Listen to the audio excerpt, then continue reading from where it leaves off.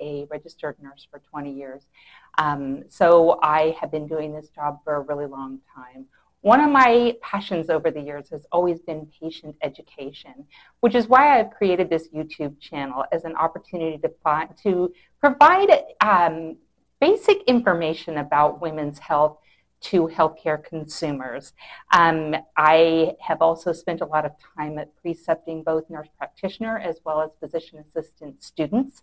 I love working with students, and one of the things that I have found is that they really do uh, like to get uh, Cliff Note versions of what to talk to the patients about. This is not about pathophysiology. They get the students get plenty of pathophys in, in class. This is more about the actual nuts and bolts of talking to patients.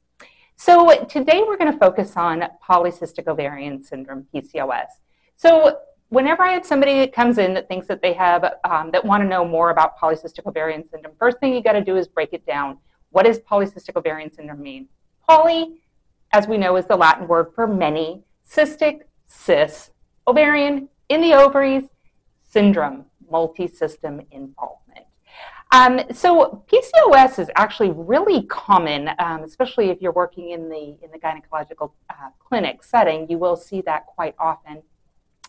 Depending on what source you go to, some places will say 5 to 10% of the population, some say up to 15% of the population um, are affected by PCOS within the childbearing years.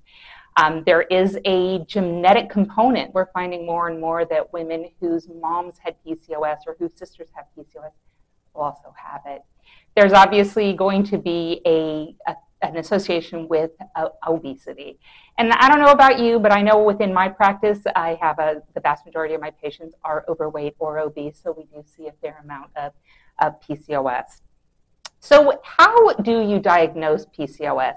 The generally recognized standard is um, what's called the Rotterdam criteria. Within the Rotterdam criteria, the patient, if they meet two out of three of the criteria, then they test in for uh, PCOS. The first one's going to be irregular, infrequent menstrual cycles.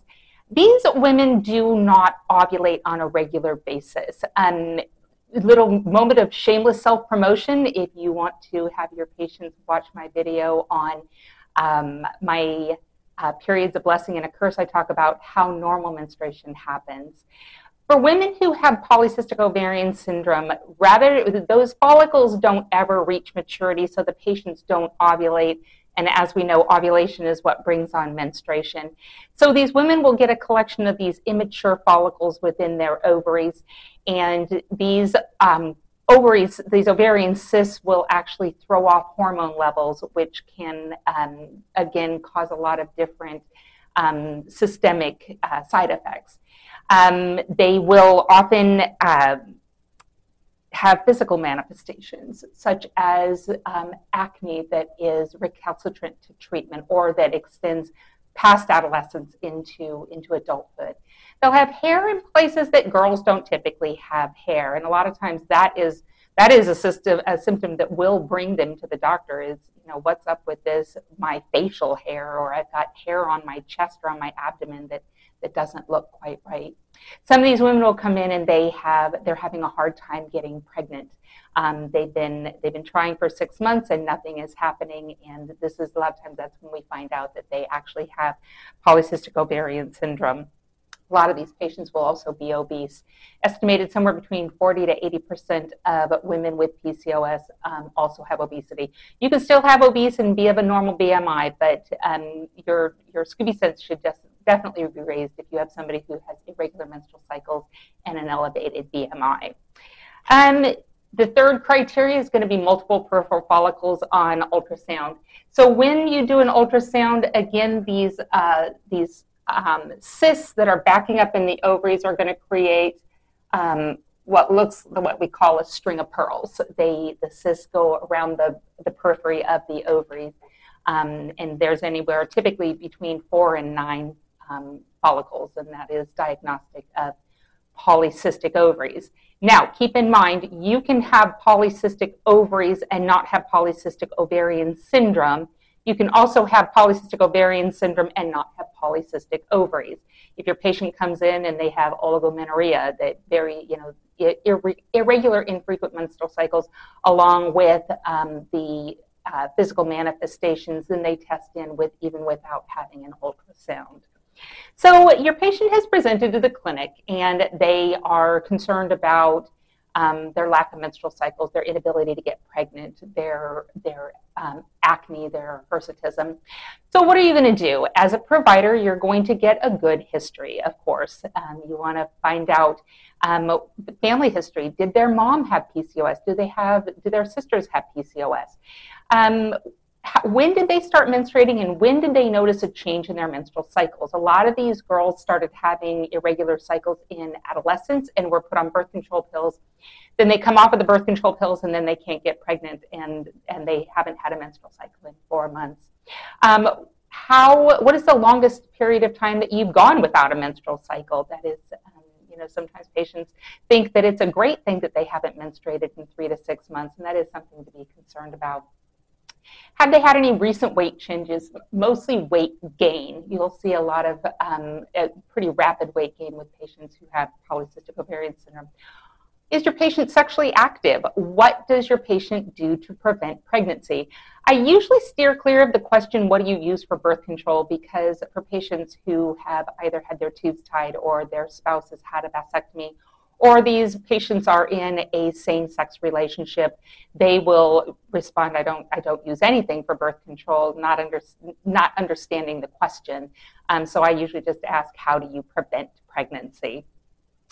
You can do a physical exam. You definitely want to get a height and a weight. You want to calculate their BMI. Um, you can uh, look and see if you can find abnormal hair growth. You can look and see does the patient have acne primarily on their chest, on their back, on their face?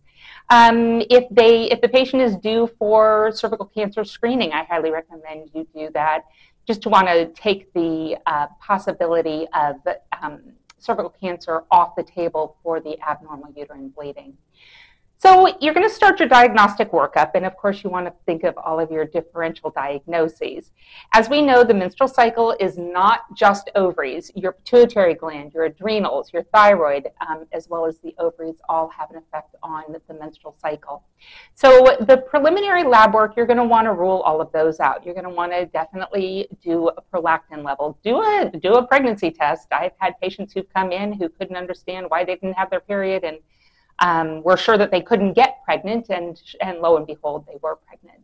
Um, you want to check uh, thyroid, and if you are concerned at all about uh, congenital adrenal hyperplasia, um, uh, CAH can mimic PCOS. You can have the irregular menstrual cycles, you can have the cysts on your ovaries, um, you can certainly have the physical manifestations, but CAH is a different diagnosis than PCOS and it can have long term ramifications.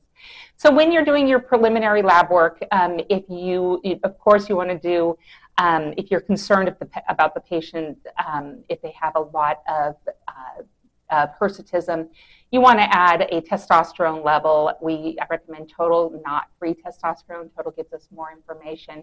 Um, you definitely want to check a DHEAS. Um, if you're concerned about adrenal hyperplasia, 17-OH progesterone, um, and that test does need to be done first thing in the morning. If your patient is um, having infertility issues and is um, having irregular menstrual cycles, but doesn't seem to demonstrate any of the physical manifestations, and you want to get a you want to get an ultrasound, not a bad idea to take a look at those ovaries and see if you have, in fact, some of these adrenal hyperplasia, or the some of these peripheral follicles on the ovaries. Um, when these patients are, if you have tested them in for uh, PCOS, probably want to get um, some kind of an oral glucose tolerance test um, to rule out prediabetes and or diabetes. You want to do a sleep apnea questionnaire. Um, screen them for depression and anxiety. A lot of these patients will have sexual dysfunction as well. Some of them will have eating disorders. They are frustrated because they can't lose weight and they will resort to extremes such as bulimia or anorexia. So keep in mind those are some potential differential diagnoses that you need to take a look at. If your patient is over the age of 35 and has gone a long period of time without a menstrual cycle, or she is morbidly obese and has gone long periods of without a menstrual cycle, you also want to be aware of the potential for endometrial hyperplasia, where the inside of the uterus gets overdeveloped. Oh, endometrial hyperplasia over time can lead to uh, uh endometrial cancer. So, with those patients, I will usually recommend doing an endometrial biopsy we bring them in, we put a speculum in, we take a tube, we go up into the uterus, withdraw these cells, and send them off for pathology to make sure that the, that the patient does not have the beginnings of endometrial cancer. So your patient has been, you've made the diagnosis and you have, um, the, the patient has tested in for uh, polycystic ovarian syndrome. So, what are your treatment plans? Um, basically, your treatment plans are going to depend on the patient's future fertility desires. If the patient does not desire fertility, um, you are going to want to um, talk about cycle control. You do want these women to menstruate, whether it's once a month or every three months. Um, you can do that with birth control pills. The nice thing about birth control pills is some of them will have an anti-androgenic effect. Uh, is one of my go-tos with my patients with PCOS. The, um, these patients, the desogestrel will not get rid of the unwanted hair, but it can definitely slow down the progress of unwanted hair growth. It can also provide good um, reliable contraception for these women, as well as it can protect that uterine lining. Some patients just want to do a LARC, uh, progesterone only, like a Depo or Nexplanon or a Mirena. Those products are great for protecting the uterine lining. They are also great for providing birth control. However, they do not help with symptoms such as hirsutism or acne. Um, for those patients that want to use a LARC but don't want and you know and, and still need to have their acne or their hirsutism managed, um, you can use an anti-androgenic medication such as spironolactone. Um, for those patients that have unwanted hair growth, you can also recommend hair treatments, um, laser hair removal, depilatories, those kind of things can help. Some people believe that if you that if you shave or if you wax, the hair grows back in thicker and more coarse, and that, that that's not true. The, the hair is what it is. Um, so if your patient does desire pregnancy, you definitely want to talk to them about weight management. Um, all patients who have PCOS, I, I you do want to you want to you want to address weight management, and for a lot of providers, that's kind of an uncomfortable conversation to have.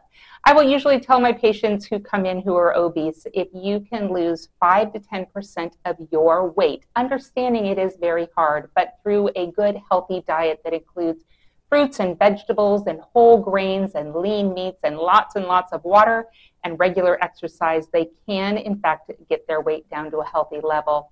Ideally, you want their weight down to a healthy level um, prior to pregnancy, not only to uh, decrease their risk for developing diabetes and heart disease, um, but it also helps with those patients who have some sleep apnea. Also, if patients are depressed, it can help. Um, it can help decrease some of their depression symptoms. If your patient does want to get pregnant and is um, has got PCOS, um, you, they, you need to let them know that they can still get pregnant. Uh, PCOS decreases fertility but does not eliminate it.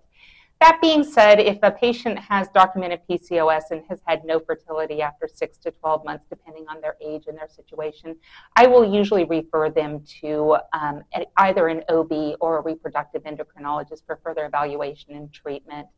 Um, for those patients that are just not ovulating no matter what you do, um, we used to give them metformin. Metformin is great for uh, decreasing the risk for prediabetes and diabetes. However, studies are showing that it really doesn't do anything to improve um, ovulation. If you want the patient to ovulate, typically Clomid is going to be your first line of defense.